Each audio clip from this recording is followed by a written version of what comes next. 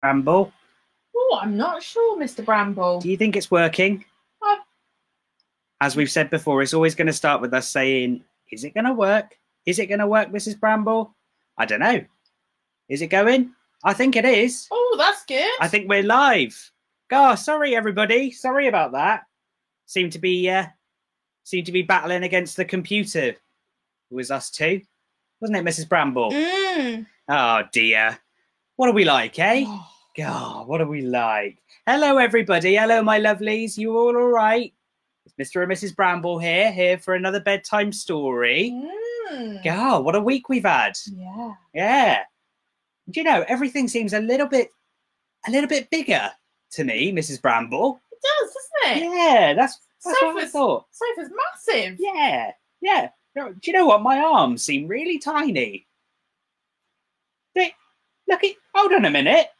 Look, where did you get that necklace from? Wow, it was a present. Oh, it's very pretty. Oh, thank you. Oi, what are you two doing here? Go. Hello, my lovelies. You all right? It's Hello. actually Mr. and Mrs. Bramble here. Yeah. These two have been playing us up. Thank you to Tash, Reedy, and Aaron and Lily for sending them Mm. in. They're really lovely, but gosh, they are menaces. Yes. You two trying to step in for us? No, Sleep. not having that. Come on. Right, come Off on, you you, go. two. I'll tell you what. Why Oh. don't we Oh, okay. Yeah. pop them to the Yeah. side Let me pop. for this one, Mrs. Bramble? How are we all? Sorry about that, guys. There was a little bit of a delay and we seem to be, well, these two seem to be battling against the computer for us. Yeah. Anyway, we hope that you're all doing well and that you've had a good week. Mr. and Mrs. Bramble here for another bedtime story, our seventh one. Yeah. I can't Seven. believe it. Isn't that amazing? Yeah. Now, because you lot seem to really, really enjoy one of our stories from our big book of adventures Mm. that Mr. and, uh, Mr. and Mrs. Bramble have been on, we thought we would tell you another one. Yeah. If that's all right. Hello, Reenie. Good to see you. Reenie very, very kindly Mm. knitted these for us. Yep. Mr. and Mrs. Bramble. Mrs. Bramble down. Our there little- we go. There, there we are. So thank you so much. They've only played up a little bit. Yeah. Now, Mrs. Bramble, while I get our big book of adventures, Yeah. did you want to show the boys and girls what the treat is tonight? hmm Yeah, I will. Super stuff. Right. I'll go and get the, just the ingredients that I need. If you go and get Yeah. that, uh, the big book of adventures. Big book of adventures. Right. Oh, got quite a spread here this evening. I'm just going to reach down and grab a bigger bowl for us. So, this evening, I'm going to be making some muesli, some homemade muesli. So I've um, I've I've put some bits in bowls, and I'll tell you about what each of the bowls are, and then I'm going to mix it up into this larger bowl. And then what I'm not going to do on camera because I'll probably spill it everywhere is um, we've got a big jar, and we're going to pop the muesli into the big jar, ready for um, Mr. Bramble and I to use um, tomorrow morning. Did you want a big spoon, Mrs. Bramble? Oh no, I've got a big spoon. Thank you very Ah, much. look I've at got my that. wooden spoon here to mix it with, so we're all sorted. Thank you. I'm just looking for the book. Hold on. Okay. So um, I just here. I don't know. I'm gonna. I don't want to tip them out, but that is some crushed up Weetabix that I've put in there, and I've put seven crushed up Weetabix in there. I've just picked this because this is the kind of um, proportions that Mr. Bramble and I like. But um, you can do however much or as little you want to do. oh, I think I found it. Bramble. Oh, excellent! Gosh, it's so heavy. Yeah. Well, Oh. there's plenty of adventures in there. Oh, I'm Excuse very me. sorry. Excuse me, Mr. Bramble. Oh, there we We're getting a little bit cramped on here, aren't we? We are. So the next thing that I've got is some oats. Now I think I put in around 200 grams of oats into Oh, there. So super. I'm just going to pour those in. Would you mind exciting. holding on to that for me? Yeah, of course. Thank you very much. Then the next thing that I've got, so another kind of dry thing, I've got some bran flakes for us. Now I think I put about Oh, 100 lovely. grams of bran flakes in there. So that's Super that's some stuff. nice different textures there. So if we give that a bit of a stir. Yeah, through. brilliant stuff. So that's our kind of like our main base sorted. Yeah. So at this point, we can then add whatever we want to kind of bring out some. Oh, did I get? You're flicking the oats everywhere. You know what I'm right. oh, get dear. do make a mess when I'm cooking. Right. Mr. Bramble, go and get the Hoover. so the next thing that we've got is I've got some flax seed in here. I've got some linseed. I've got some Mm. sunflower seeds and some pumpkin seeds. Ooh, lovely. So I think I put about 100 grams in there of that lot as well. Excellent stuff. Do you want me to give that a mix? Yeah, that would be lovely. Thank you very much.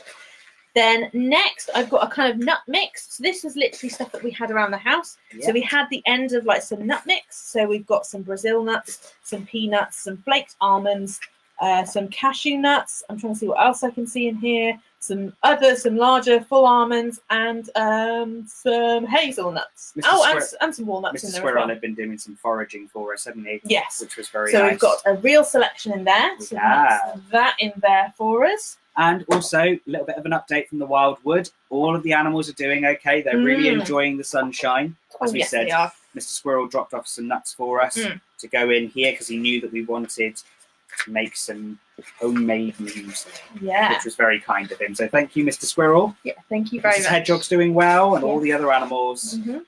are enjoying all the sunshine. So they're outside playing in their gardens. So then our final ingredient, and I think this is my favourite bit. I think it is. So I have chopped up some um, some apricots, and I've also got some raisins in there as well. Oh, you can put in sultanas. You can put in uh, dried figs. You can. Um, yeah, yes. so So that's real very variety. tasty. So So, we pop that in pop there. that in there. There we go. now, You give that a bit of a stir, why and then do you want to tell all the boys and girls what you can do with muesli? oh wow! So you've got quite a few options. Yeah. Um, so uh, Miss Bramble and I, we've got some yogurt, haven't we, to go with this We tomorrow morning? do, which is going to be very nice. Yeah. Are In you- fact, I think I don't think we can wait until tomorrow morning. I think we might have to go and make some right before bed. Yeah. So we could you could also use milk. So you could either use like dairy milk or you can use um, some milk alternatives like oat milk or something like Yeah. that. Uh, what else could you do? You you put could- nice toppings on. You could. You- So you Mm. can have banana Mm-hmm. or Fresh berries. Oh, some fresh Mm. berries. Like strawberries or something. Yeah, so there's loads. Oh, hello, Cassie. Good to Hi see you. Um, yeah, there's loads, isn't Yeah. there? Do you know you could even have it with ice cream? I think that'd be quite nice as well. Mm, A little bit cheeky, but mm. anyway. So Right. thank you so much, Mrs. Bramble. If you just pop that on there, I will take that back through the kitchen, ready to be stuff. added to our large jar. Oh, shall go. I tell you this? Shall I very quickly remind you what I said earlier about the story that we should tell today? Do you remember that time with the moving town? Yeah. Yeah. So this story is from our big book of adventures. We just want to tell you a quick bedtime story before we head off ourselves. So this one is about Mr. and Mrs. Bramble and the moving town. Mm, you're right there. You've got it balanced. It's always so big, isn't it? Yeah. Now, I'm going to tell this story again. Mrs. Bramble is going to give me a hand. Yeah. As we said, this is the story of Mr. and Mrs. Bramble and the moving town. And where was it, Mrs. Bramble, that we we got a letter from It quite was- some time ago? It was uh, mm, St. Columb Major. St. Columb Major, that's it, because Mm. we are in Cornwall and that is where the Wild Wood is based. So, our friends in St. Columb Major, who we hadn't seen in quite a while, sent us a letter. Mhm. And it was quite an odd letter, really, wasn't it? Unfortunately. Um, they said that they'd been having a spot of trouble hmm and they needed our help, knowing that we like to fi- like to fix things and help Mm. people. So they thought they would drop us a message. And we have lots of friends in loads of different places from all of our adventures. So we hadn't seen them for quite a while. We thought, yep, no problem. They're friends in need. We'll go and give them a hand. Yep. So we packed up our things, didn't we? We got our suitcase and packed up all of our things that Mhm. we needed. We shot off St. Columb Major. That's in Cornwall. So we arrived, and there were a couple of things that were slightly out of sorts. Isn't that Hmm. right, Mrs. Bramble? Hmm. The um the shop. It wasn't where we remembered it was. That's correct. Yeah, we couldn't remember. We couldn't remember for sure. So we weren't Yeah. we weren't sure whether we were just forgetting Mm. where the shop was or that something else was going on. And Yeah. we thought, no, this is very strange. Mm. And then there was the pub, Hmm. and the pub I thought, I'm sure the pub was over there. Yeah. Here. We hadn't been for a But while. we hadn't been for a while, so maybe we just forgot it. Yeah. Anyway, we met up with our friends and they explained some very weird things that had been happening Mhm. over the last couple of months. And they said that they needed our help catching a monster. Now, of course, we got a little bit scared at that point. We thought, "Ooh, they didn't mention anything about this in their letter. And I haven't brought any any of any of my equipment because I didn't realise what we were going to do. No. I mean, really, we should have written them back and said, What's your problem? "What's your problem?" We've, But- we've learned from that one. Hey, we do now. Hmm. so, they explained that some very weird things have been happening, especially at night time, which is why I'm assuming they thought it was a monster. Mm. And what had been happening is that people had been going to sleep in one place and then waking up in another. So, for example, Mrs. Dell, hello, fell asleep in her house on High Cross in St. Columb Major. And she went to sleep, and as the sun set, she nodded off, had a, I think she drank hot milk or something like that. She told Hmm. us, didn't she? Yeah. She had a hot milk, she drifted off to sleep. And without a stir, there was no there was no way that she woke up. She had a lovely sleep, in fact. I think it was the best that she'd had in weeks.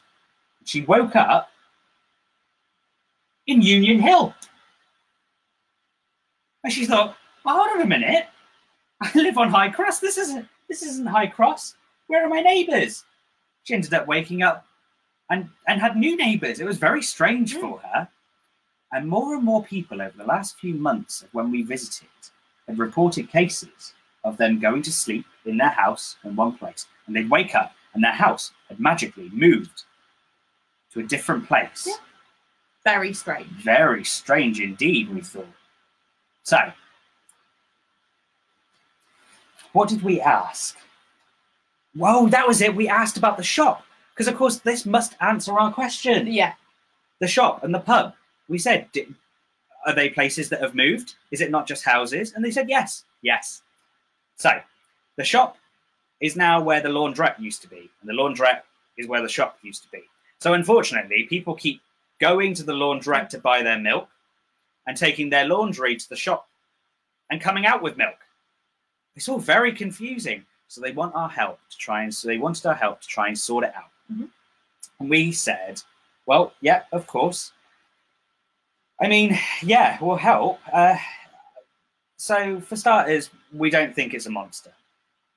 Monsters aren't really real. Animals of all shape, shapes and sizes and people are all good. Monster kind of makes it sound like something's bad. Hmm. And that's not right because you should always give something a chance. Yeah. Give them the benefit of the doubt. Of course, exactly, Mrs. Bramble. Mhm.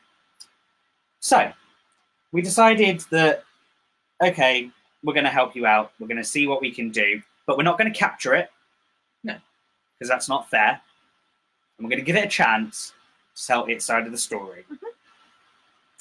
So, there were three things that we figured out, wasn't there, Mrs. Bramble? That it had to be. Yeah. It had to be big Yes. To move the houses. to move the houses. Mhm. It had to be strong also to move the houses. Yeah. houses. But it also had to be smart. Hmm. Why why did we figure that one out? Well, because the houses, when they moved, they were moved intact. Like you said, Mrs. Yeah. Dell, she didn't wake up. No, exactly. So they must be very clever to be able to lift a whole house without shaking it too much and then place it down ever so gently. exactly. So they must be really, really careful, Mm. very smart to be able to just move them so delicate. Mm. So we got our things together. Mhm. What little things we brought with us, Yeah. of course. Um, and we set off for the highest point near St. Columb Major, and that was Castle an Dinas. It's the highest peak in that area, isn't it? Mhm. We thought, right, we're going to stay out all night. And we're going to take take our food and get our tent. Mhm. Luckily, we brought it with us. Yep. And take our picnic ta- chairs and tables and our Mhm. tea Mhm. and sit up Castle an Dinas and wait and see what we can see. Mm. This thing must be big. Yeah. It must be big. It must be huge. Mm. And we sat there, didn't we? Yeah. And we sat there. And we sat there. And we sat there. Luckily, we brought loads of games, so we were we were we were happy. Yeah. But just as we were nodding off, we were as well. The tea had run out. the tea had run out, and we were all warm from our tea, Mm, from our dinner. hmm Yeah, ooh, a little bit sleepy now. Mm, God, the hugest gust of wind. yeah, It well, it really woke us up, didn't it? it did. It was it was cold. It was. It was cold. It was as though someone had got a big fan and just gone whoosh. And it came from the north, didn't it? Mm, yes. So, of course, we turned around. We had a look. And way, way, way off in the distance. In fact, I'm trying to remember now in our book, we writ it. We wrote it down, didn't we? That was it. It was Hustyn Wood. Mm, way off in the distance, miles away. You see this big bunch of trees all waving Hmm. with this gust of wind. And gradually, just at first out of sight. And then a little bit. Well, it looked it looked like a hill yeah. It was coming out of the middle of the forest, didn't it? Yeah. And gradually, the hill turned into a bigger hill, Mhm. and a bigger hill, Mhm.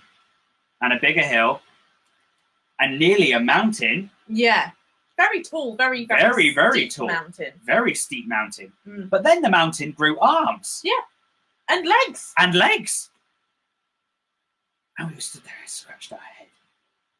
And then it clicked. Mm. What is big and strong and smart? A giant.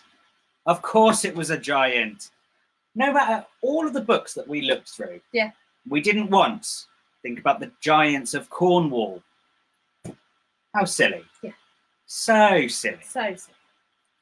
So now we're faced with a giant. Mm. Now, giants are generally kind creatures. hmm They are good natured. They usually have all have jobs like normal people, Mhm. just that they are so so so so so much bigger than us, aren't they? Yes. And they're quite slow and Mm. cumbersome, but they are very very careful Yes. because you've got to be. Imagine being at the size of of ten skyscrapers.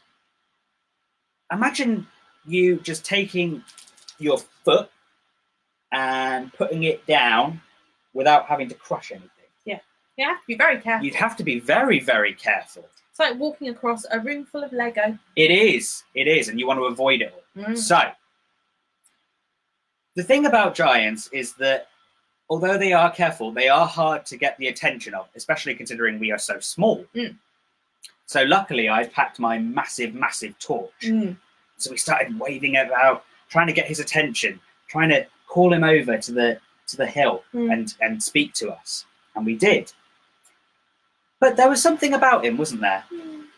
Yeah. Almost sad, Yeah. but sad like Concerned.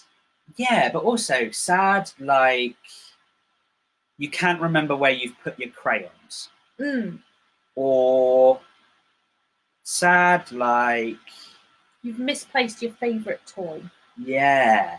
Or sad like you've really lost something. Mm.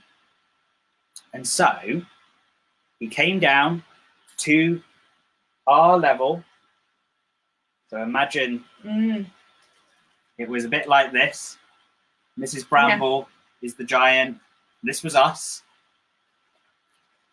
And he explained his name was Lowen. Now, Lowen is a Cornish word for happy or jolly or um, cheerful. Yeah. And we said, Oh, well, hello. And we introduced ourselves and we said, You don't seem very happy, though. And we said, No. And this is when we got to the crux of it. You see, Lowen is one of the oldest giants in Cornwall. And as we mentioned earlier, giants all have jobs. And his much like Sally, you'll remember from our other story, is kind of a postman. Yeah, he's messenger. He's a messenger Hmm. and he delivers really important messages from different places, from all the kings and queens of the different areas, you know, of the wildwood and then of of of the sky Mm. and the sands and the Mm. sea, of course, Mm, Neptune. You yeah. heard about him in our last story. And he darts about Lowen Mm. and he delivers all these important messages.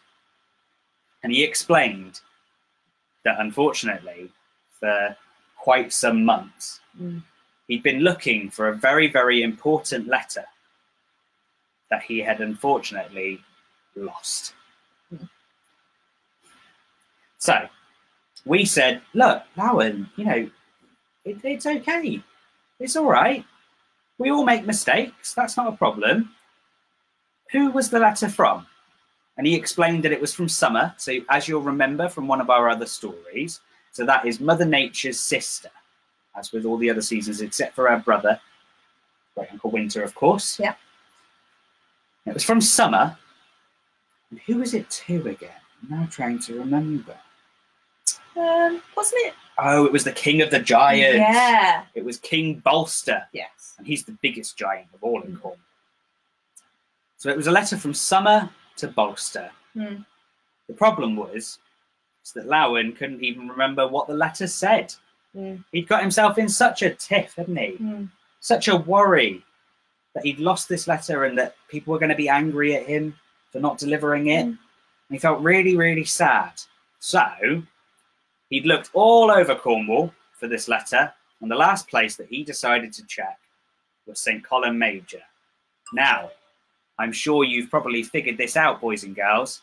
Unfortunately, what he'd been doing is lifting these buildings up overnight and plonking them down, looking underneath the house.